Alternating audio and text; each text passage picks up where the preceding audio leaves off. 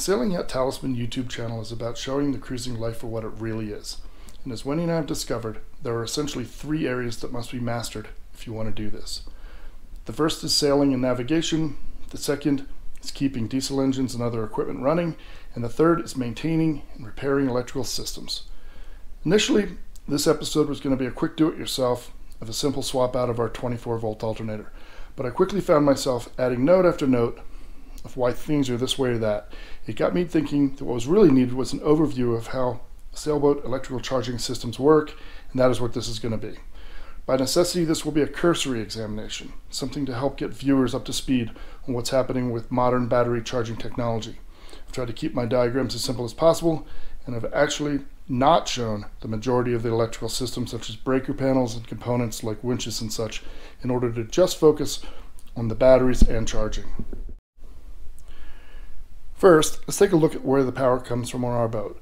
Here I show the external shore power cable that brings in 230 volt power at 50 hertz phasing from a dock mounted pedestal.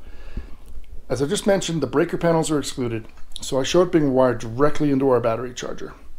Typical shore power is 16 or 32 amps in Europe, and our boat can handle either.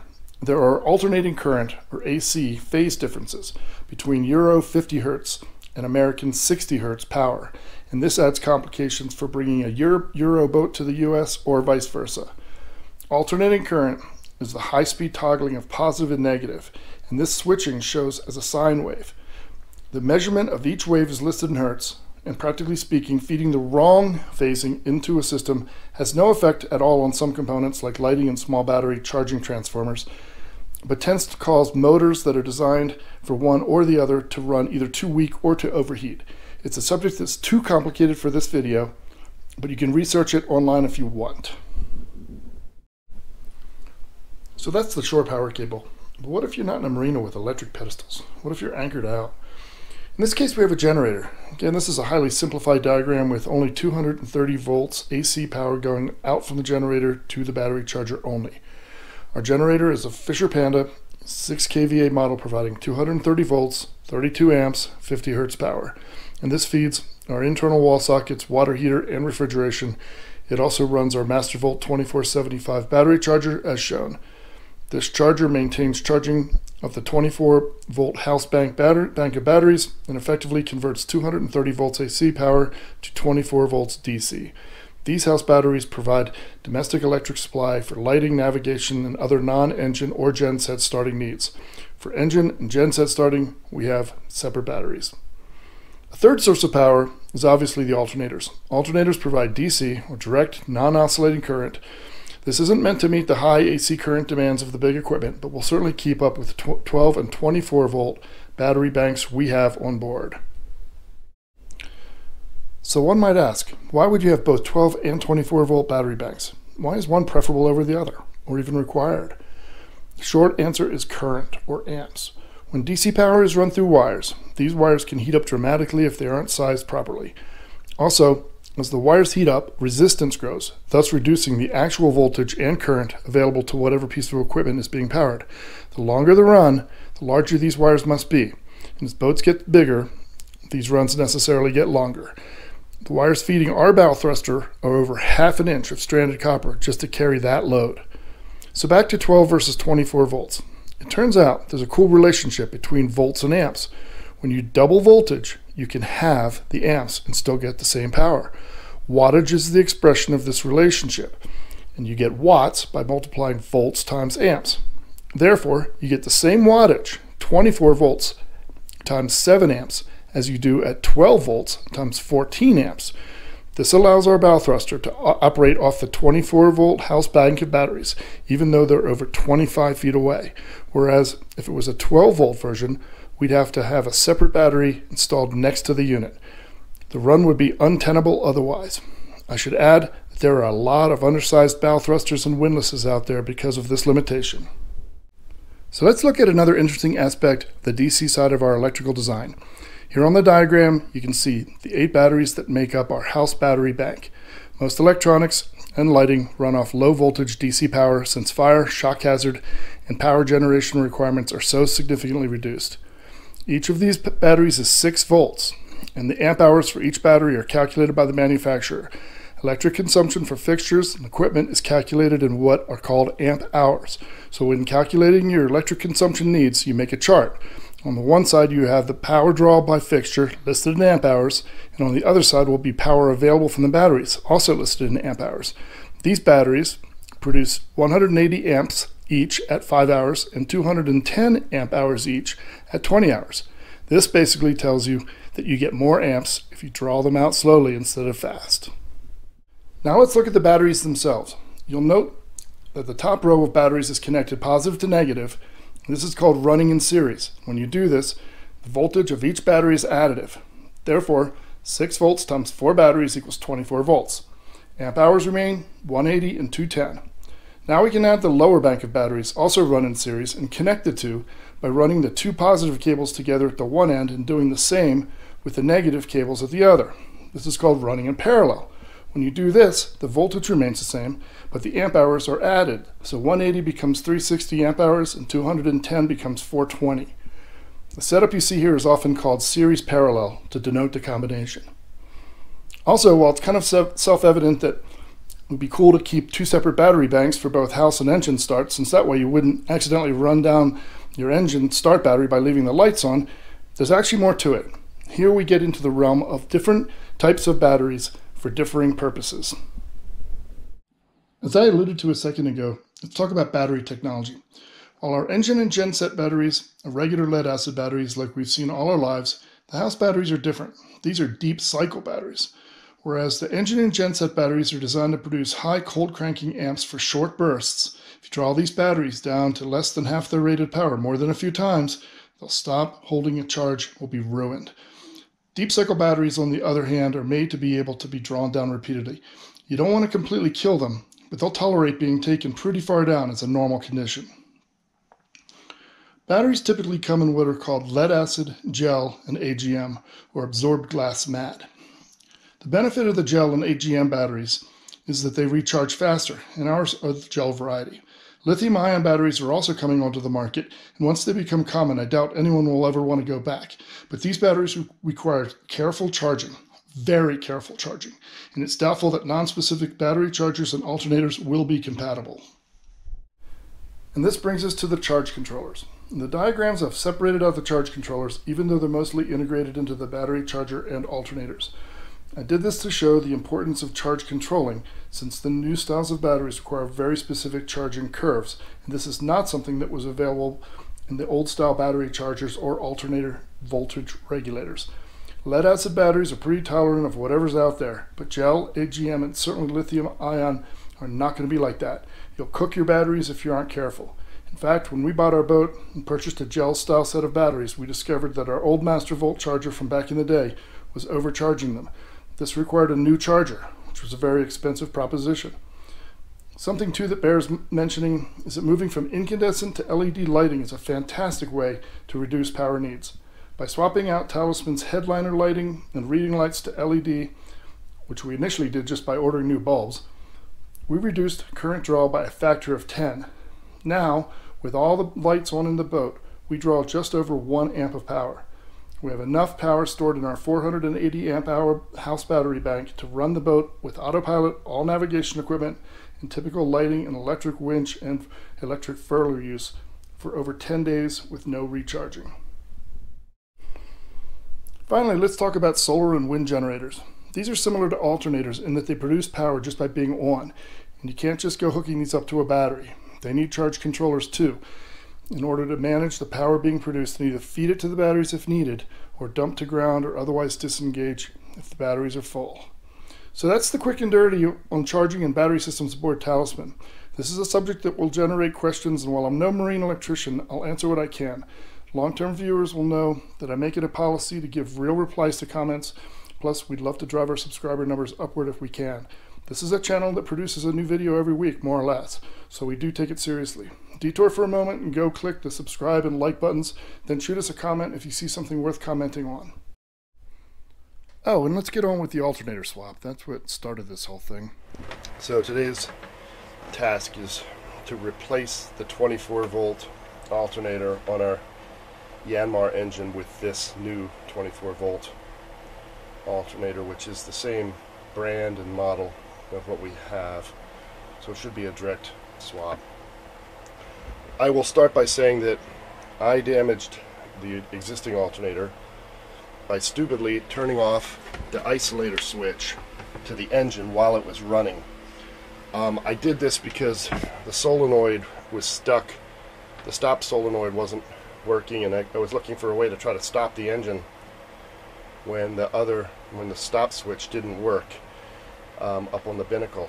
And so, don't do that. Don't ever turn an isolator off while an alternator is running because you remove the grounding um, function and the, the, the electricity that's being produced has no place to go and it burns it out. Burns out, I don't know, diodes or something inside. So anyway, that's that's what happened. Second thing is Oyster. Oyster Oyster supplied us with this alternator and I have to say they, the pricing on it was better than anything I could find on the internet. They do a fantastic job of taking care of their customers. And as a manufacturer, I suspect they get better pricing than the distributors do. Um, so they pass that on, and in many cases, we've bought a bunch of stuff from Oyster, and in every case, their price has been at least equal to what you could find on the internet. And oftentimes, it was for parts that you couldn't even get on the internet. Um, they have a great supply of stuff for the boats that they've produced over the many years, including this one um, which is not a brand new boat by any stretch. Um, so props to, to Oyster. Uh, moving on to tools. Here I have kind of arrayed out for display, for video, kind of what this is the tool selection just for sockets and spanners, combination wrenches more specifically. You need a lot of this type of stuff when you're on a boat if you're going to do your own work. You need a tool for almost everything that you could possibly need and so here we have the blue um, stripped uh, sockets are, are metric and the red ones are SAE. We have deep well sockets. We've got half inch drive sockets, 3 8 inch drive sockets, quarter inch drive sockets. We've got in metric and SAE, we've got hex drivers. Um, we've got the extension ex socket wrench extension extenders as needed. Um, various bits. Um, here's a selection of socket wrenches and converters to go from half to 3 eighths and 3 eighths to quarter, so on. These are Torx drivers, not used too often, but when you need one, you really, you really need the exact thing. Um, and I'm going to be using this DeWalt miniature impact driver to hopefully get the nut off the old one. And they didn't they did not include a the pulley, so I'm going to have to try to can pull the pulley off the old one and put it onto here, which I'm a little bit worried about. Pulleys have a strong tendency to seize themselves onto shafts, and we do not have easily available right now a, a pulley puller, gear puller. As far as combination wrenches go, you know, this is just the metric supply. There's another bag with full, filled with SAE. But here I've marked some of the some of the more commonly used ones. This 24 millimeter wrench uh, we use whenever we have to move a dock cleat. A lot of the pontoons in Europe use um, kind of a standardized cleat system that has has big 24 uh, millimeter nuts on it, and, and, you can actually move the cleats in the track, and that helps sometimes uh, if you're trying to tie your boat up exactly the way you want. We also, I also have these two wrenches, the 13 and 17 millimeter wrenches, kind of taped with blue tape, because that, those are the most common sizes here on this boat. Um, and um, again, it's nice that they kind of standardized on a couple of sizes because it really makes life easy. Um, but um, so let's let's jump to it and get this job done.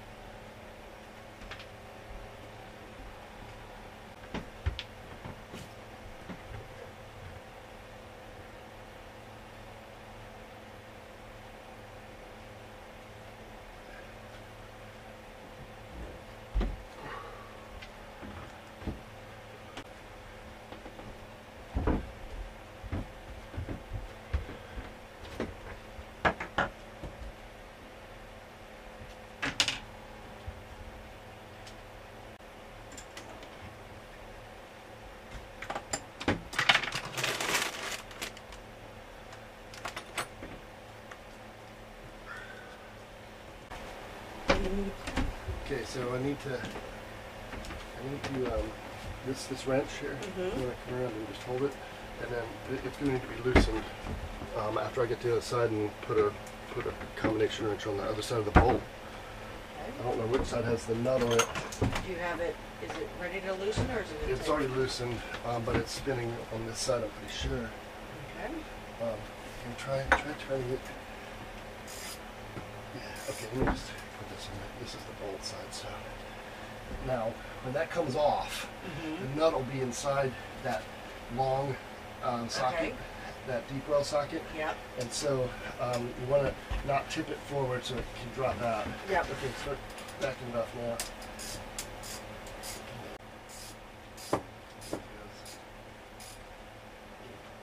Pull the pull the wren- uh, press the little button on the end of the wrench and pull it off the end of that that that shaft that um, extender. Yeah, and there, and just move the wrench away. And then turn it by hand after the wrench is off. Press the little button in the center on the top, and it'll, it'll, it'll release it. It? Holes are still in there. Pull back the nut off the end of it. And uh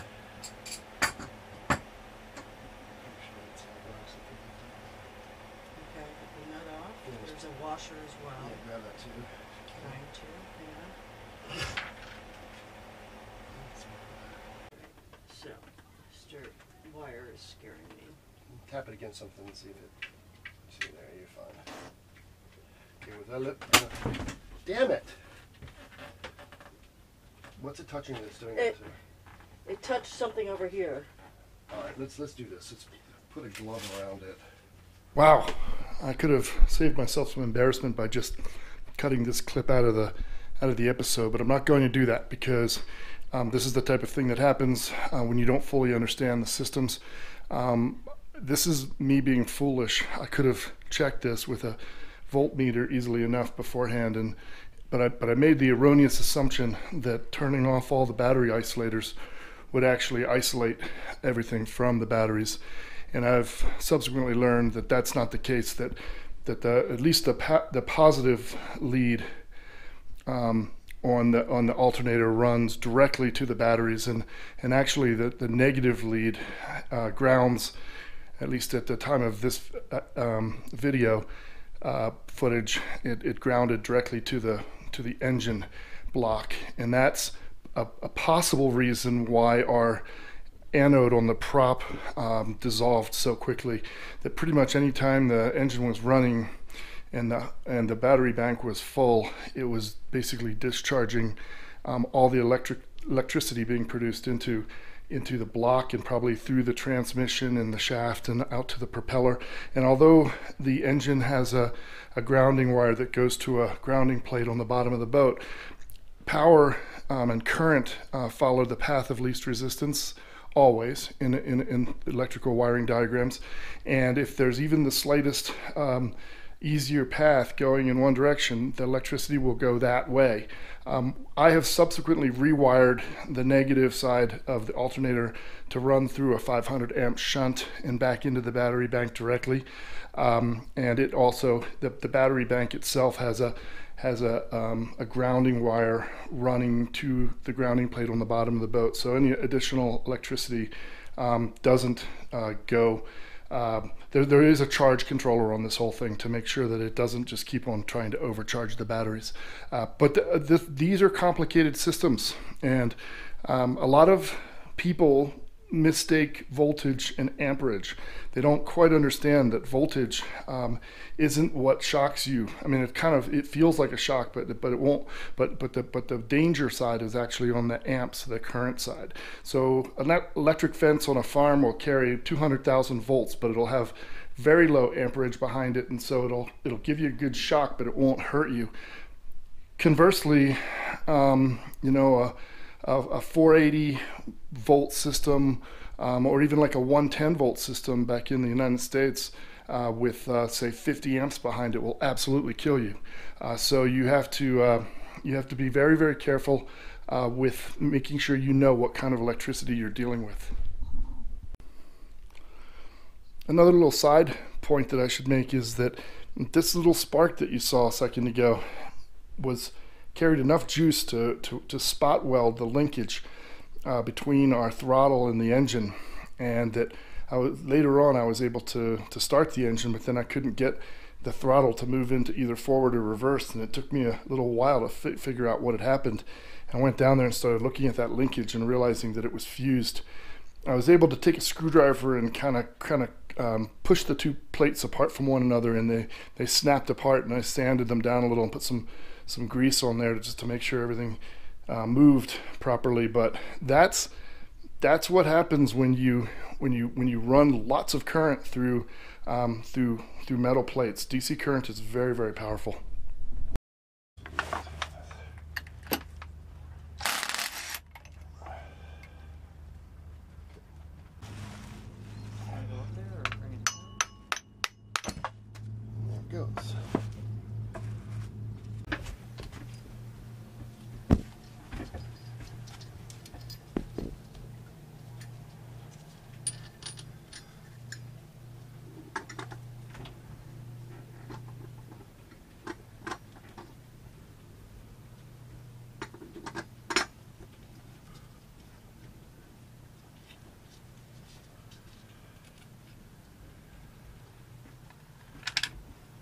So what do you think? Is it gonna work or? Well, I'm hoping so. Um, it's a slightly different setup than what was there. Um, but Seems like you can get it on. yeah, it seems like I can get it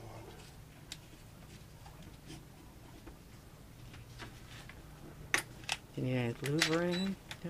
No. No.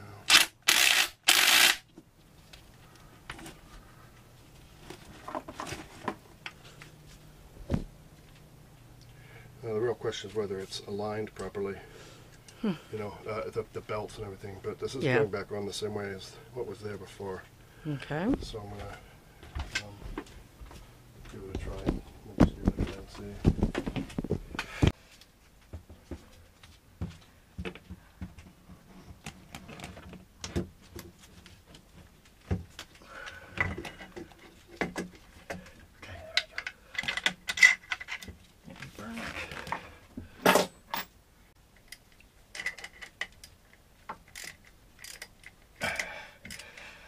This one's loose anyway, which is not good. Oh.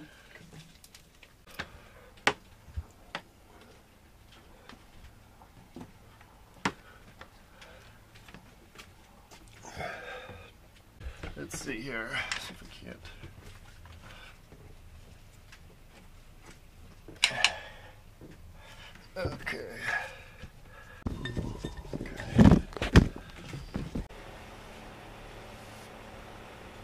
You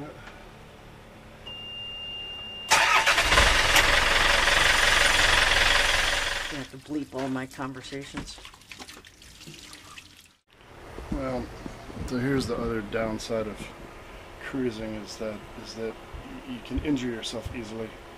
The doctors pulled this toenail off, so there's no toenail. Um, but as you can see, the toe itself is badly infected, uh, and it takes forever to heal on a boat. It just it just does. So I'm on heavy doses of antibiotic. They started me on intravenous antibiotics. Now I'm on oral antibiotics. And it just sucks because now there's no swimming, there's no even moving around. We're stuck here in the harbor until until this gets even a little bit better. There just seems like one thing after the next is preventing us from going someplace. If it's not a part for the boat that we have to order, it's it's it's some sort of injury. Um, so, just a word to the wise on that.